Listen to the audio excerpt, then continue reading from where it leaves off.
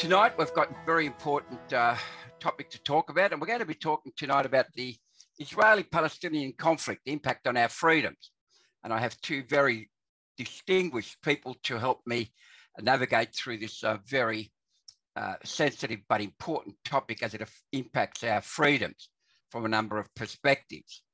Um, tonight, I'm the national webinar host, uh, Greg Bondar, and of course, my very good colleague, David d'Lima, who will also be joining me to help filter questions and to make sure that everybody gets the opportunity to ask a question.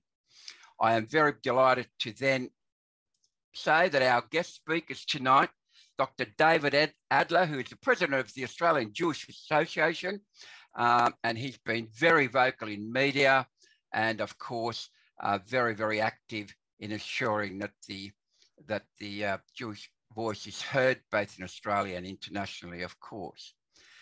Then I have Senator Eric Abetz, and of course, Senator, there are not enough words for me to explain how important your role is and how, how, how supportive you have been of Family Voice Australia. So I do thank you for that. And uh, we look forward to your presentation because I know you have a close connection on this particular topic. So we look forward to your presentation as well.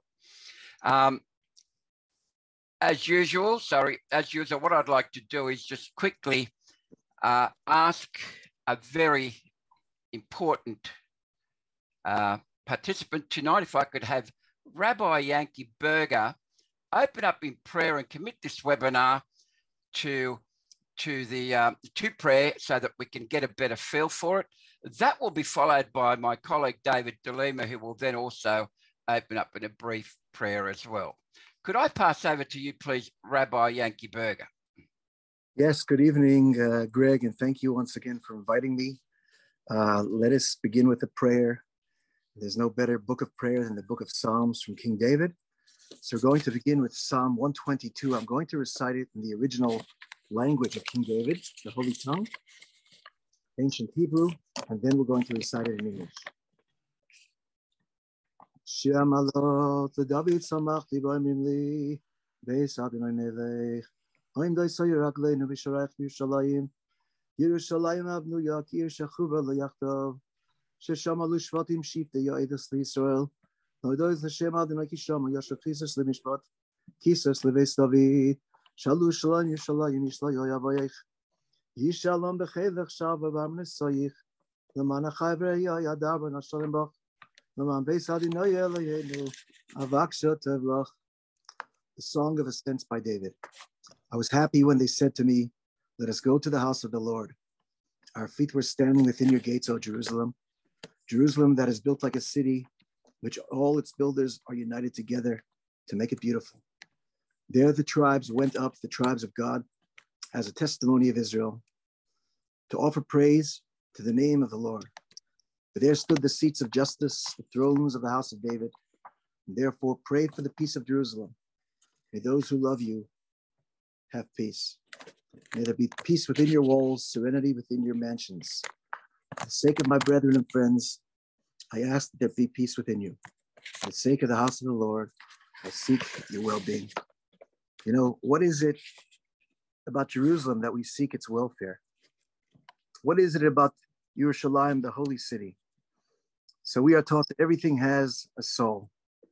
Although we only see the interface, and that is the body, just like every human being has a soul, so too the world, the geographical space, has a soul, and the soul of the world is Jerusalem, Jerusalem. So I'm now going to conclude with a special prayer for Jerusalem, for Israel. And this prayer we recite in our synagogue in Double Bay, where Dr. David Adler also today's uh, one of today's guest speakers. He comes to pray every weekend at our synagogue. So going to recite a special prayer uh, in, in English. May he blesses Abraham, Isaac, and Jacob bless the land of Israel and reveal the glory of his kingship on the land promised to our ancestors. Please, God, may you deal graciously with its leaders and advisors to always lead them in justice and righteousness. Place in their hearts the ability to love, fear, and, and serve you with truth and integrity. May the words of our prophets be fulfilled. From Zion comes Torah, and from Jerusalem, the word of God. Our Father above, grant peace to the land and eternal joy to its inhabitants, and return Israel to calm and tranquility without fear of terror. Spread your protective cover in all of the world. May, these may this be your will. Let us say, Amen. Amen. Thank you. Thank you, Rabbi. Very, very appropriate. And I'd like to hand over to David d'Lima to bring us a short prayer as well. Thank you, David. Well, thank you, Greg, and thank you, Rabbi. Let us pray together. Master of the universe, we give thanks for your people, Israel, for their ancient foundations and for their modern restoration. We thank you that Israel stands as a beacon of democracy and freedom in a very turbulent part of the world. Mm. And we thank you for our nation of Australia for its wonderful role to enable the liberation of Beersheba and then Jerusalem, and indeed for the establishment of the modern Israeli state, as uh, even Doc Evatt, as president of the United Nations, provided uh, wonderful leadership there to the formation of the new nation. And we pray for the peace of Jerusalem. Mm. We pray for good relations between Australia and Israel, and that together we can bless the world as you've called all of those descendants of Abraham to bless the world. Amen. Amen. Thank you, David. Uh, I'm going to now go on to uh, introduce David Adler just once more, but just to put it in perspective, everybody, the topic tonight is the Israeli-Palestinian conflict. For those that don't know, that's roughly the region. I'm sure David will have his own presentation, but just to put it into perspective, that's the region, the geography that we're talking about and a bit more uh, um, clearer is that. So what I'd like to do is stop sharing now. I'll hand over to Dr. David Adler, President of the Australian Jewish Association. Thank you, David.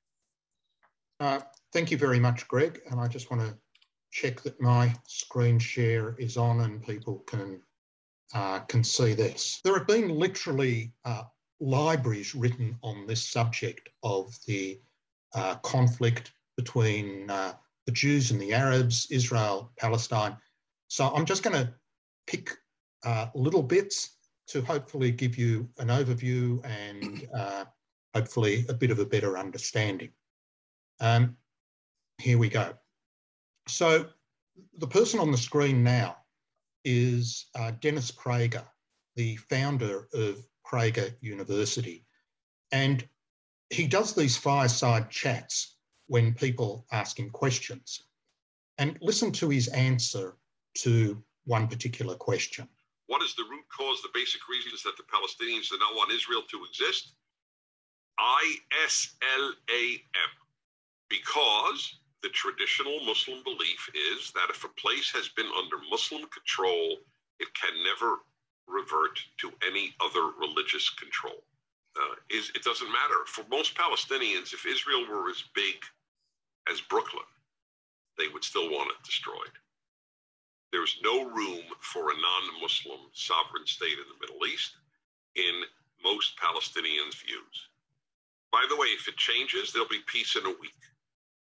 The day Palestinians say we recognize the right of a Jewish state to exist in the Middle East, uh, there'll be peace in a week. Now, this may well be uh, a bit of an oversimplification, but it's certainly a major factor. And it's one, unfortunately, that is not politically correct to discuss and is one that's often avoided by uh, mainstream media and by many of our politicians as well. So uh, by opening in this way, you'll realise that if you're after standard political correctness, Greg, you've chosen the wrong presenter.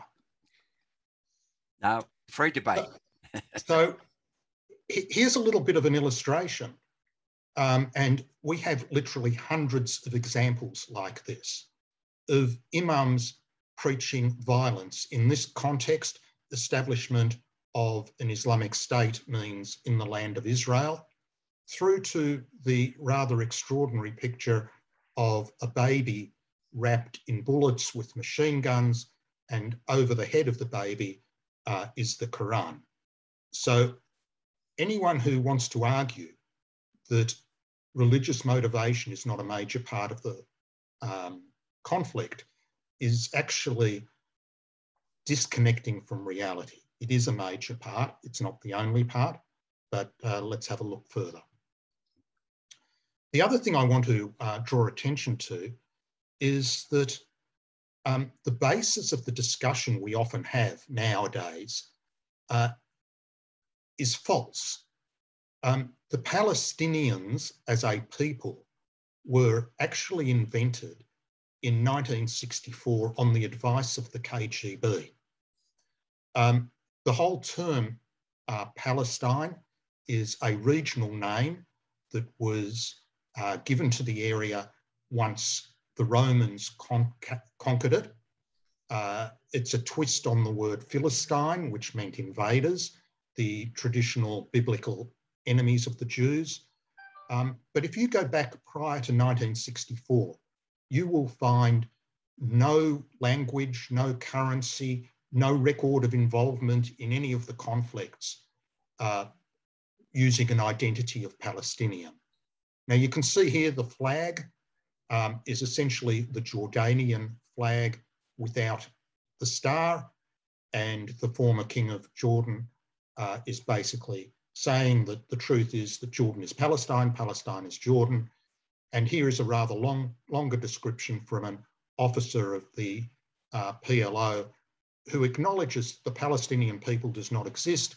It's the, uh, the creation of a Palestinian state is only a means of continuing struggle against the state of Israel and to unite the Arab voices.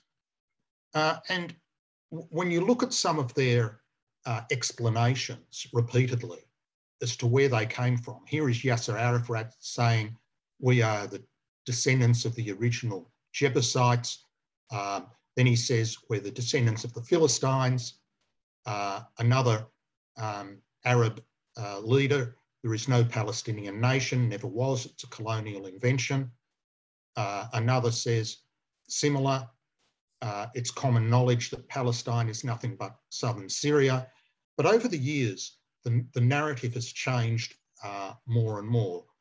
Uh, you can find no archaeology, nothing with a Palestinian identity uh, prior to the 1960s. Um, this contrasts with the actual history which has occurred in the area. And there is enormous uh, historical proofs of the Jewish presence going back to some 4,000 years. Um, if anyone visits Israel uh, in the foreseeable future, I'd encourage a visit, particularly to Hebron and uh, the city of David, where there is major archaeology uh, that just blows your mind, going back in Hebron to the time of Abraham and in the city of David. Uh, there's a lot that has been uh, found which demonstrates uh, the kingdom of David and Solomon. Uh, there were Jewish kingdoms for roughly 800 years before um, the exiles that were instigated by the Babylonians and then the Romans. There's a lot of evidence of the first and second temples in particular. Um, just a few historical pointers that uh, the armies of Muhammad uh, came in the seventh century and the Ottoman Empire, which uh, ruled for 400 years uh, until World War One. Uh, the British Mandate uh, was in place until 1948 and of course the modern state of Israel since 1948. Bit of important context and background. So when you look at the conflicts that have occurred, um, there has been a lot of conflict prior to the modern state of Israel. One of the big ones, which is well known, is the Hebron massacre of 1929, when the Arabs decided it was a good idea to uh, try to kill the Jewish population uh, of the ancient city of Hebron. And uh, it made worldwide news at the time.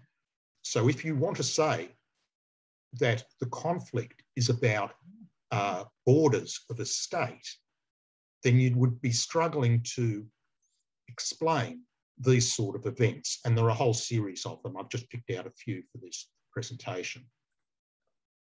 Unfortunately, we have seen an alignment between Arabs and uh, Nazism. Uh, there's the famous photo of the Grand Mufti of Jerusalem, uh, Al Husseini, uh, with Hitler himself. Um, the uh, Mein Kampf uh, is still a bestseller when translated into Arabic. And in the last year or two, um, we see these symbols uh, put up. The one on the left, the big uh, Nazi flag, is close to Hebron in, a, in an Arab village. And the other one here, where you see the two so called Palestinian flags with the swastika here and here, um, was on the border of Gaza. Um, so this starts to lead to an explanation of what the conflict uh, is about. None of this is about um, borders and land. Now, after the um, War of Independence for the establishment of the new state of Israel in 1948, um, Jordan did conquer completely the old city of Jerusalem. And they removed every single Jew. There was ethnic cleansing. Over 55 synagogues in the old city were damaged or destroyed.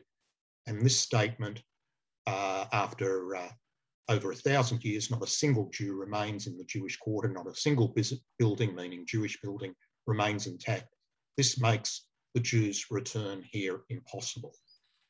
Um, now, clearly, events have, have proved that incorrect, thank God, but that was the objective of the conflict.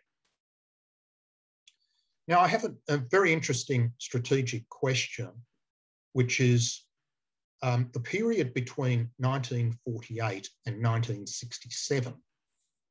Uh, Arabs actually controlled uh, the Gaza Strip. Um, Egypt controlled that and Jordan controlled Judea Samaria, which they called the West Bank. Um, these are areas which some say should now form a state of Palestine. Obvious question is why, when they had control, when the Arabs had control of these areas, was the no attempt to form a state of Palestine? Uh, again, that points to the conclusion that it's not about land, it's about fighting the Jews and trying to eliminate a Jewish state. Of course, it wasn't until recently that when you said the term Palestinian, it meant Jews. And you'll see here on the left, Arabs to boycott Palestinian goods, and on the right, Arabs invade Palestine. They were invading the Jews at the time. Now, one of the things that's driving the conflict, unfortunately, is various types of incitement. Uh, there is a financial incitement, uh, the so-called pay for slay that the Palestinian Authority runs and the Martyrs Fund. Now, they make no secret of what the priority is. And I'm going to play a one minute uh, video from Mahmoud Abbas, the president of the Palestinian Authority, which indicates what his priority is financially. Hopefully that'll play. No, didn't play. Try again. If it doesn't play, basically he's saying that um, they will pay the terrorists, they will pay the prisoners, even if they only have one penny left, the priority is to go to uh, the payment of the terrorists. Now, Australia has been uh, unwittingly involved in this, and I want to thank uh, our other guest, Senator Eric Abetz, who has been very, very helpful, um, particularly in Senate estimates committees, in asking for accountability of what's happening with Australian foreign aid. Um, this cover story of the Spectator magazine was part of our campaign to expose the nexus between Australian foreign aid and terrorism. You can probably see that there's a guy lying on the ground with a pool of blood. Uh, he's got a kippah with a Star of David on it. Stabbed into his back is an Australian $100 note. And the uh, uh, headline here is Aussie tax slayers. We were able to successfully demonstrate that Australian money was being used to pay terrorists to kill Jews in Israel. The Australian government uh, responded and they discontinued the cash grants to the Palestinian Authority. Um, this is one of our signature uh, policy wins, and Senator Eric Abetz certainly played a role in this. Another form of incitement uh, that occurs is the glorification uh, as heroes of prominent terrorists. Dalal Mughrabi is uh, sports festival um, was one of the, uh, I, I, guess, most well-known terrorists, uh, and particularly as a woman. Uh, here we have a sports festival in her name involving uh, a couple of schools. Um, she succeeded uh, with others, suicide bombs, blowing up a bus, ending up killing 37 civilians, including 12 children, and wounding uh, 70. Now, that we have numerous, numerous examples of schools, of public squares, of um, other institutions being named after terrorists. This is a group of the kids that were killed on that particular bus. It goes further. Um, whole range of strategies. Uh, the religious quoting of uh, various uh, liturgy from Islam that Jews are evil, uh, from the Quran, from the Hadiths. There is specifically a Hadith in the ha Hamas Charter to kill Jews. It's the one about um, Jews hiding behind rocks or trees and they will speak, uh, come and kill them uh, the brainwashing of children to be terrorists and martyrs. Uh, I mentioned the Pay for Slay program. Uh, there's almost $400 million a year that goes towards the payment of terrorists or their families, and the rate can be up to five times the salary that a teacher would earn. Uh, UNRWA is a major problem. Uh, parts of it are effectively controlled or influenced by Hamas. Hamas has full control of the teachers' union in UNRWA schools and numerous examples of incitement in the textbooks that teach terrorism and anti Semitism. And there's a whole propaganda of television shows, music videos, including children's shows that glorify terrorism. I, I could provide a couple of hours of, of examples uh, that confirm this. Another way that, frankly, um, the terrorism, the conflict is fueled is through certain international agencies. There is an NGO called UN Watch, which monitors uh, what the United Nations is doing. And the new session of the UN General Assembly began in September this year. In the previous year, you can see on the left there, the number of resolutions against various countries, um, the number against Israel exceed the total of the rest of the world combined. Uh, you'll notice none against China, despite its enormous uh, human rights abuses.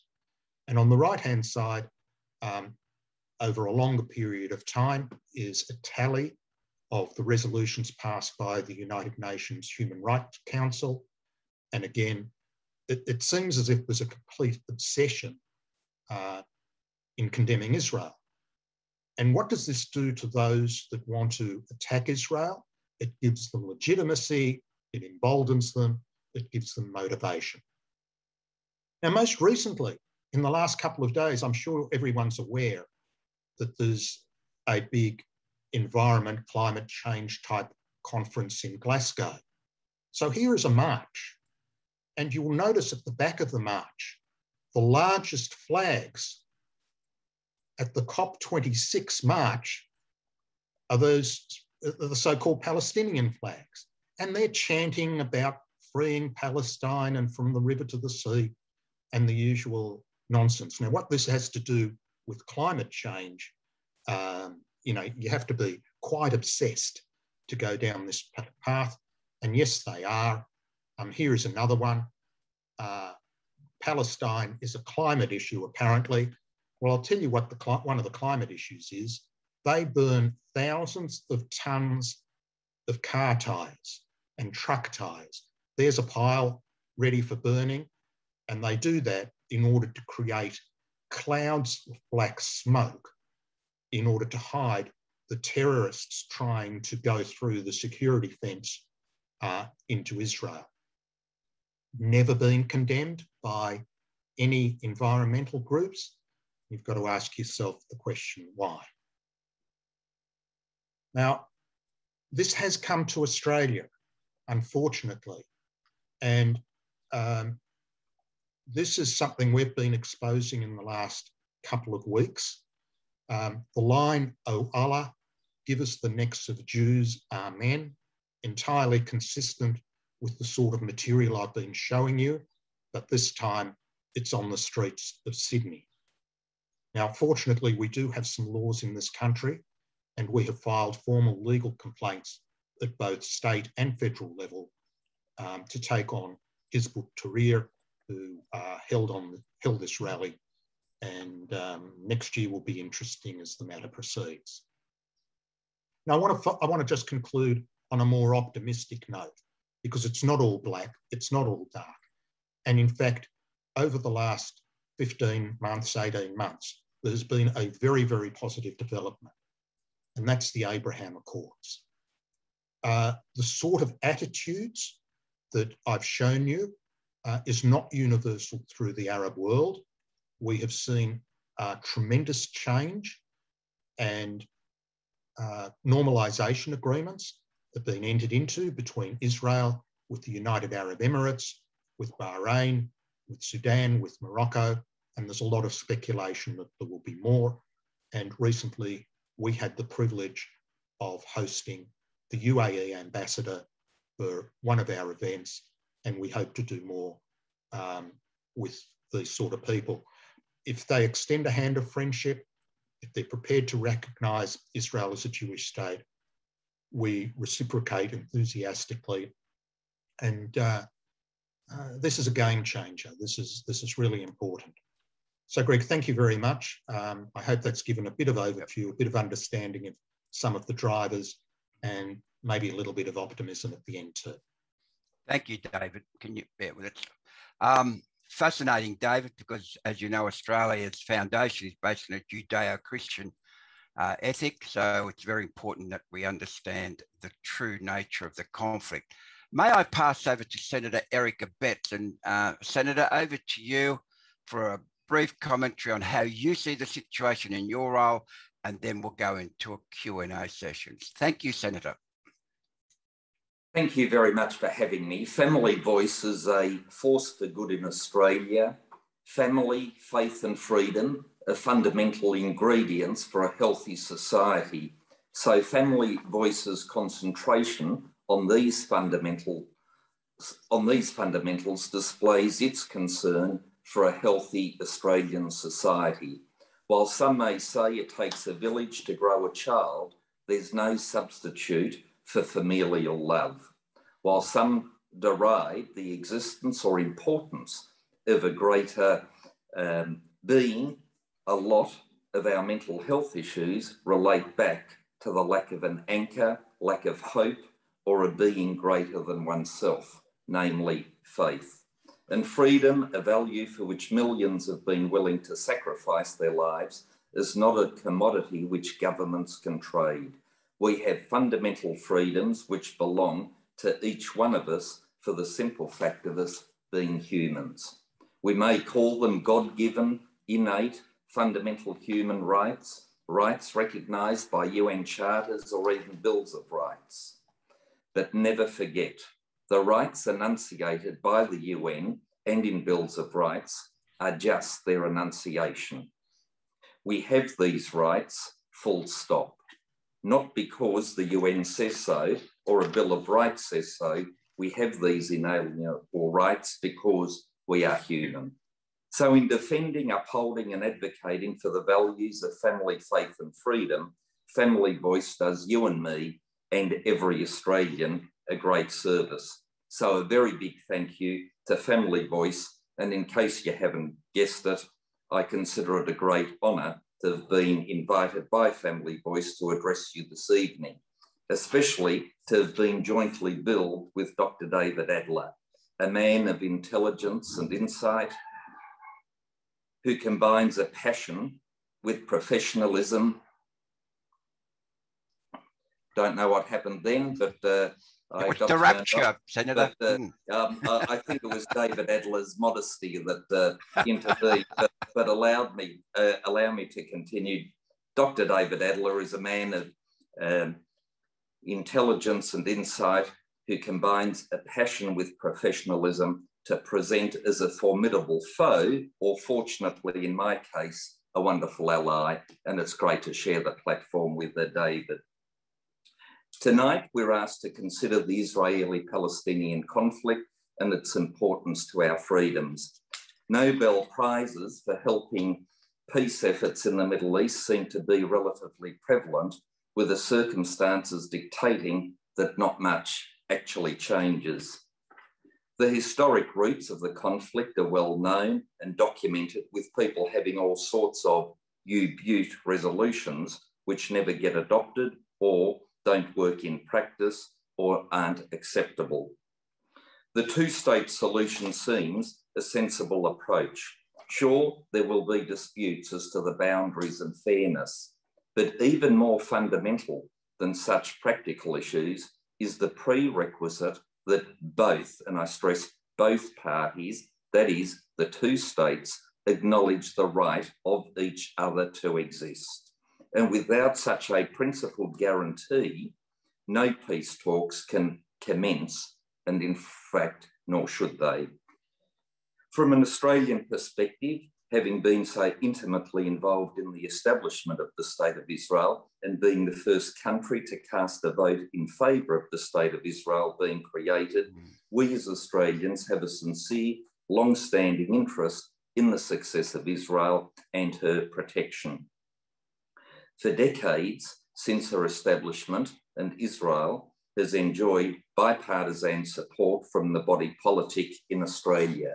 Only fringe extremists from both the right and left of politics took an opposing view. Regrettably, today, the left of mainstream Australian politics has begun shifting to an ugly anti Israel and anti Semitic sentiment. Be it support for the BDS, which is the boycott, divestment, and sanctions movement, especially by the Australian Greens, the pro Palestinian state move without the need for there to be a commitment to the preservation of Israel is gaining some traction from people such as former Labor New South Wales Premier and Foreign Minister Bob Carr. These trends are concerning, as was Australia's abstention on the UN vote on Palestinian recognition in 2012. Just recently, Labor's national platform, which is binding on Labor parliamentarians, requires a future Labor government to treat the issue of Palestine as an important priority, not the Middle East issue or the Israel Palestine issue, but the Palestinian issue. The trend, ugly as it is, seems to be developing within the left of Australian politics. One suspects that with the influx of Muslim immigration, and its numerical strength in parts of New South Wales, especially, some deem a shift in policy as being politically advantageous. According to the ABS, Muslims make up about 2.6% of our population, that is some 600,000, who mainly live in the big cities. In comparison, the ABS identified, if I recall correctly, and David, correct me if I'm wrong, there are about 91,000 Australians who identify as Jewish by ancestry. One suspects the actual number is substantially higher because the answer to religion in the census is optional, and many Holocaust survivors and their close relatives and many more non practicing Jews are believed to prefer not to disclose their religion. So the real number, probably maximum 250,000, probably less. But one assumes about half, if not even less than that, of the Muslim population. Those only interested in numbers and not principle, integrity, and substance see an opportunity to jump the fence simply on the basis of numbers. One suspects and hopes the vast majority of Australian Muslims who genuinely seek lasting peace in the Middle East would nevertheless support a two state solution. In recent times in Australia, there has been the adoption of, and this is on the positive side of things, the adoption of the, I'll get this right, International Holocaust Remembrance Alliance definition of anti Semitism. Now, this alliance is an intergovernmental organisation uniting governments and experts to strengthen, advance, and promote Holocaust education, remembrance, and research worldwide. And uh, the government has now finally agreed to adopt the following, albeit non legally binding, working definition of anti Semitism, and allow me to read it to you. It is Anti Semitism is a certain perception of Jews which may be expressed as hatred toward Jews. Rhetorical and physical manifestations of anti Semitism are directed toward Jewish or non Jewish individuals and or their property, toward Jewish community institutions and religious facilities. And just in case you think it goes over the top, it also specifically says the criticism of Israel, similar to that levelled against any other country, cannot be regarded as anti Semitic. But now this had been doing the rounds in the international community for some time. I asked the federal government at Senate estimates over a period of time whether it would be accepted here. Answer was no. The ABC's chief editor hadn't even heard of it when I asked him about it. Uh, he's still struggling as to whether to adopt it or not. But the good news is that recently the Prime Minister did announce that uh, the Australian government had now accepted uh, this definition of anti Semitism. So that is, if you like, uh, on the positive side. And whilst there are many negatives to concentrate on, there are also the positives, like David said about the Abraham Accords. Uh, fantastic news great legacy for Donald Trump, whatever you may have thought of him. Uh, that is one of his legacies for which uh, he deserves a huge praise. I Israel is not surprisingly a beacon for democracy, rule of law, and freedom in the Middle East. It's the only true democracy. It is modelled on, it won't surprise you, the Judeo Christian ethic, which provides the pillars for our Western democracy in our civilization and in our way of life. Given that the Judeo Christian ethic provides these pillars for us, we must recognize Israel as the geographic birthplace of our value system. Those opposed to our world leading successful societal structures, known as the Western system, are also opposed to the country and people which govern the geographic birthplace of our value system. It's nearly like a litmus test in politics today. Ask someone, do you support the state of Israel's right to exist? And the answer will usually provide a defining insight into the rest of their political thinking. Or if you ask people about freedom, such as freedom of speech, freedom of association and religion, and the role of government intervention in our daily lives, you will find their answers will nearly always also define their attitude to Israel as well. It's an interesting observation and also a very telling one. While talking about things freedom, let me briefly turn to religious freedom, something which one country in the Middle East actually practices, and that is Israel. On Friday, I was part of an online group of coalition MPs with our Attorney General discussing the Religious Freedom Bill. Those of you who have heard me on this topic would be aware that my st uh, starting point is that the right to freedom of religion is in fact a subset of the overarching rights of freedom of speech and freedom of association. If the latter two, namely freedom of speech and freedom of association, are protected, it stands to reason freedom of religion as of necessity would be protected as well. In short, I've lost that argument, uh, but I still believe it to be correct. What uh, government gives, and this is what concerns me, what government gives, one assumes government can also take away. And that's why I'm instinctively opposed to these so called bill, rights bills. I expect legislation will be introduced uh, into the Parliament uh, very shortly. The fact such legislation is needed is, I must say, exceedingly worrying. Unfortunately, freedom of religion around the world is declining. According to Pew Research, the decade 2007 to 2017 saw a marked increase of restrictions on religious rights around the world. And it's not only governments, social hostility involving religion, including violence and harassment by private individuals, organisations, or groups, have also markedly increased. This has been felt throughout the Western world and Australia as well. Teaching Catholic doctrine on marriage can see an archbishop being brought before a government body to explain himself. The legislation brought in uh, by a left wing Labor government in Tasmania.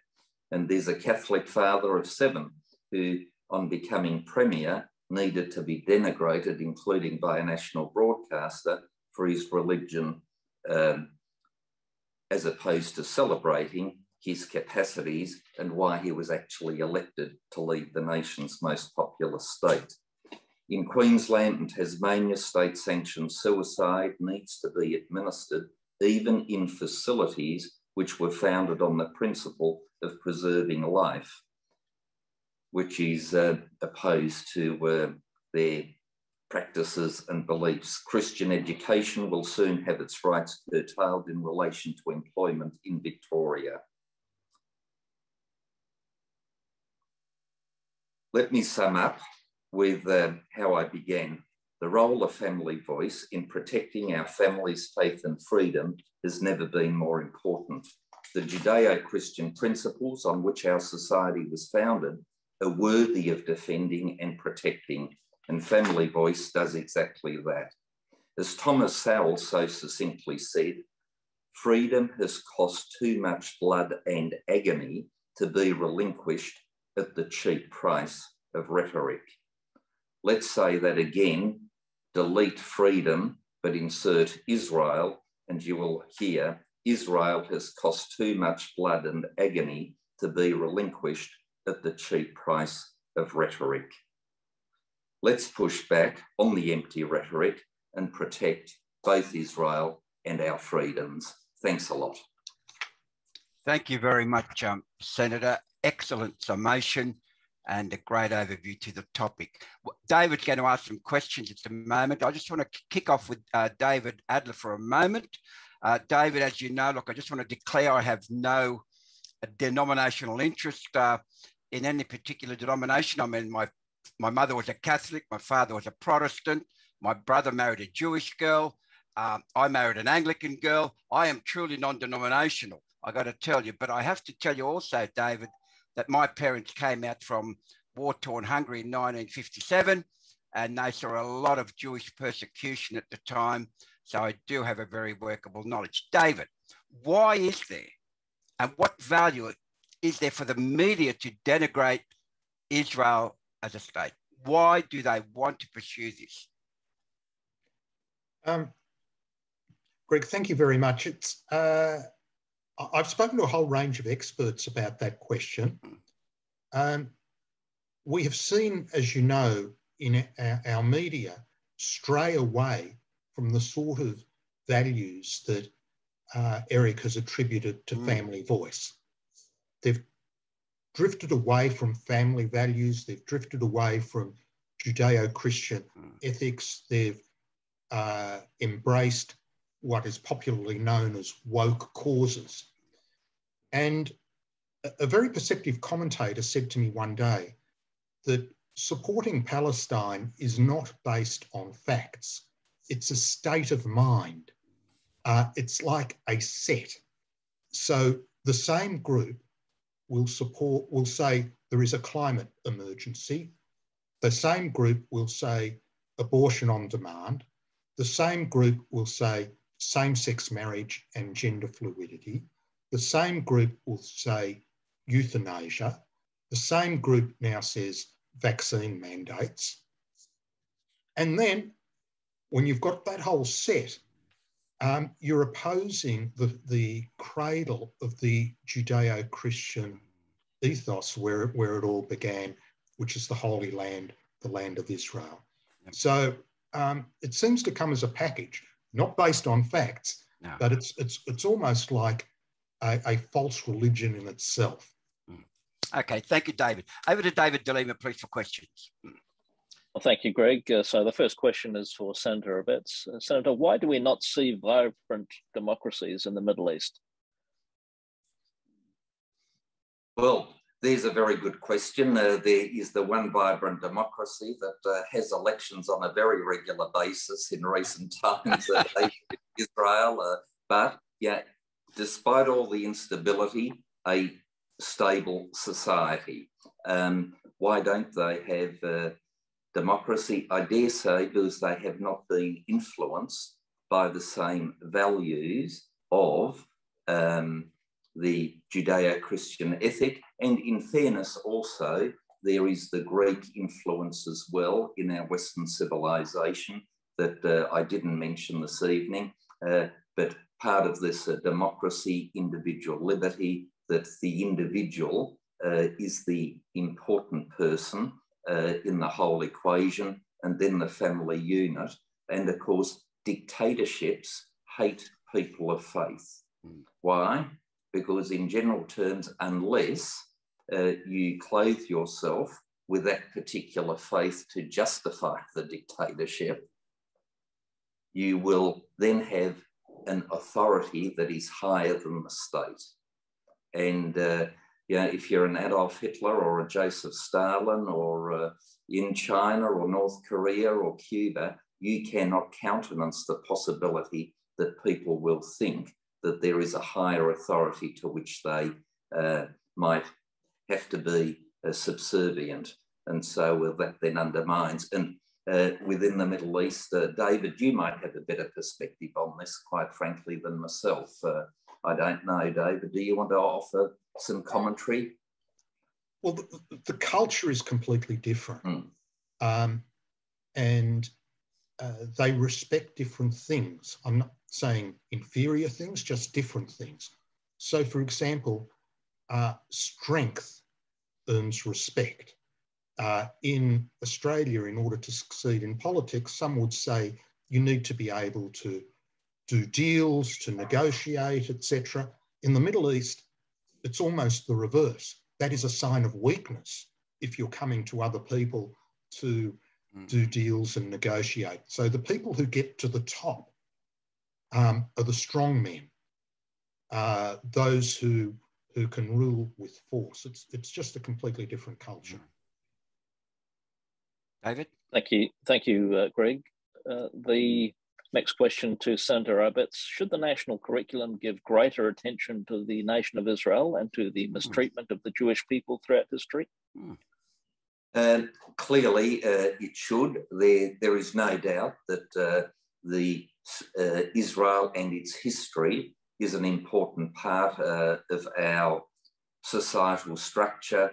Um, uh, just the other day, I was reading in the uh, Old Testament in the five books of Moses about the difference between murder and manslaughter and the requirement for malice aforethought.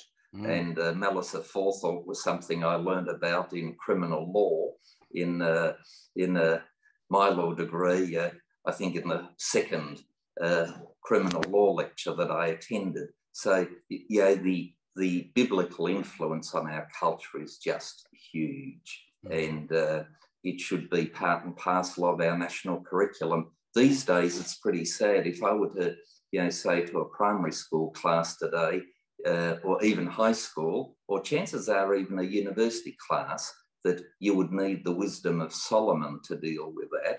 They would ask, Who on earth is Solomon? Never heard of him. And uh, that is, quite frankly, a very concerning and frightening uh, development and an indication how our education system has failed us very badly. A question for Dr. Adler. The boycott, divestment, and sanctions movement in Australia, is this growing or is it shrinking or is it static?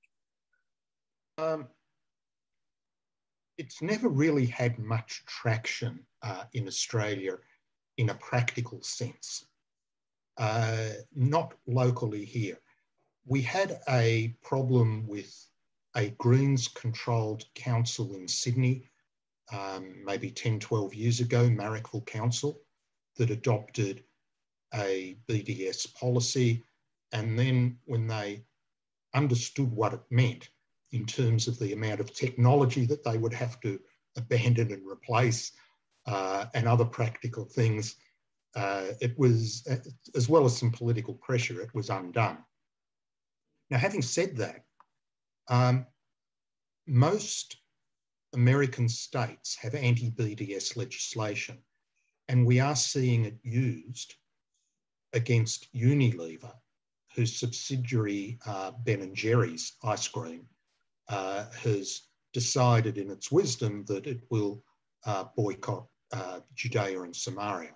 So even though it doesn't affect domestic things in the US, it has proved to be very useful uh, legislation. Now, I know that um, one of Senator Abetz's colleagues uh, did draft anti-BDS legislation for Australia. Um, it's sort of sitting in a bottom drawer somewhere and hasn't been implemented. But as we speak, um, BDS doesn't have much traction in Australia at all. Oh, well, that's good to hear. Uh, ben and Jerry, they sound like awfully Jewish names to me, but we'll leave that uh, Actually, to one side. No, you, have you've touched on an important sensitive issue, um, and it's one that's existed throughout the ages.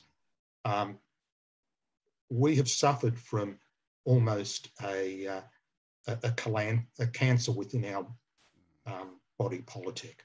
And there have been some extremist left wing secular Jews who have attacked um, Jewish principles more vigorously and more dangerously than, than many others. They have to be called out just as much. Mm. Yeah. Uh, speaking about calling out, it seems to me that many of our Christian schools are being very quiet about threats to freedom of faith, hiring, freedom of expression. Are Jewish schools raising concerns about these issues in Australia? Uh, not enough. Um, Jewish schools haven't had a, a major problem. It's been more theoretical than, than practice, practical. But we, we have a number of our Jewish schools, for example, where the, uh, the principals are rabbis. So uh, Mount Scopus in Melbourne and uh, Moriah in Sydney, the largest Jewish schools in um, Melbourne and Sydney, have rabbis as their principals. So that's very useful in, in creating a standard and giving guidance. But um, we support uh, the sort of principles outlined by Senator Abetz and uh, his efforts to get them uh, embedded in the uh, in the bill that's currently being drafted. Thank you.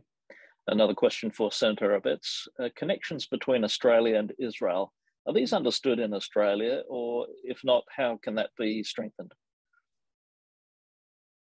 Um, not sure what's meant by the connections as in historical or at the moment, right, the, the historical connections. Once again, I think it's a uh, terrible uh, uh, denial to our children that these things are not taught in history uh, in our education system should be part and parcel of the national curriculum.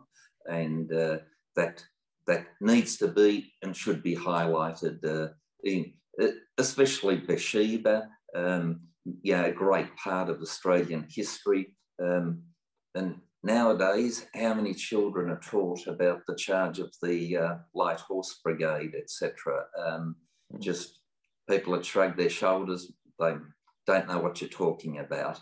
But that said, uh, the government is working hard in relation to its relationships with Israel, with uh, looking at free trade, etc., and uh, uh, technology exchanges. We are trying as much as we possibly can to uh, have exchanges uh, with Israel. And for what it's worth, I just before the COVID break out, I was able to be in Israel on a trip, and it's a great, great country. And after COVID's over, anybody that wants to should visit Israel, a fascinating country. Mm. Uh, another question to you, Senator. Is there any update on the Holocaust Memorial in Tasmania? And has there been any pushback regarding that? It is a very good question, and I will have to make a note um, uh, for myself to uh, follow that one up. I'm sorry I can't uh, assist in that regard, but I hope it's underway. Hmm. Perhaps uh, Dr. Adler, do you have a comment on the memorial in Tasmania? I'm like Senator uh, Abetz, I'm not across the detail of the progress at the moment. Okay, well, it's always good to stump the, uh, the isn't it? one more question, uh, David, please. Yeah, one more question. Uh, you've mentioned, uh, Dr. Adler, uh, the connection of the name Palestine to Philistine. So, should the term Palestine be used or not? Um, in its correct context, uh, there was a Palestine is a geographic name.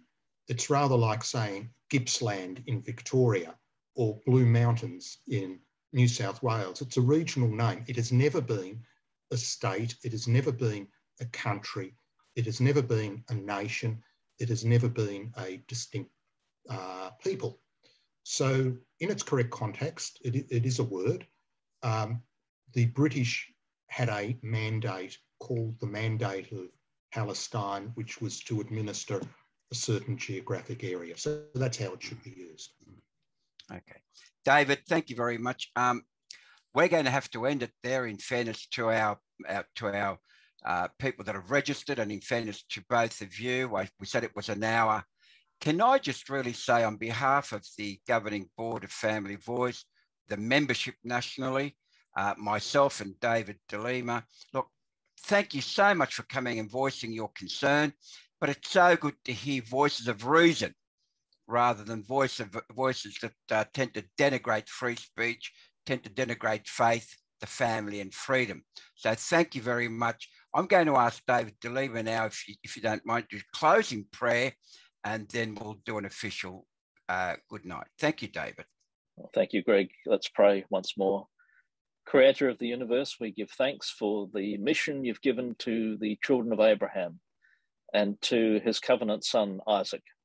And we thank you that other nations may gather and enjoy that light and connect in as friends of Abraham. And we thank you that Australia is so friendly towards Israel.